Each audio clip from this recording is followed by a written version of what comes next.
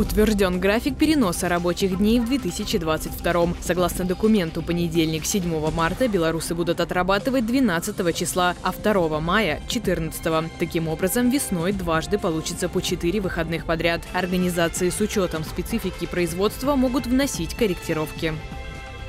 Минздрав разработал рекомендации по вакцинации от коронавируса для беременных и кормящих. В первую очередь прививка необходима женщинам с факторами риска тяжелого течения. Возраст от 25, работа в системе здравоохранения, ожирение любой степени, хронические заболевания. Главное правило – отсутствие противопоказаний.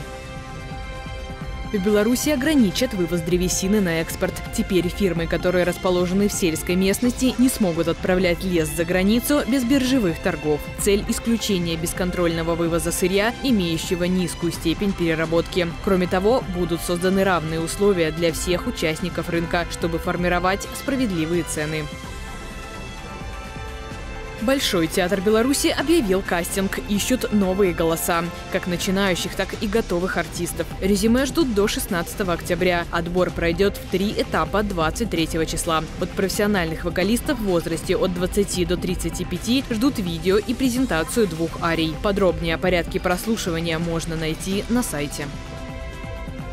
Погода на завтра облачно с прояснениями, преимущественно без осадков, лишь по востоку кратковременные дожди. В ночные и утренние часы местами туман. Ветер северо-западный 3-8 метров в секунду. Столбики термометров в темное время суток покажут плюс 1, плюс 6 градусов тепла. В отдельных районах до минус 2.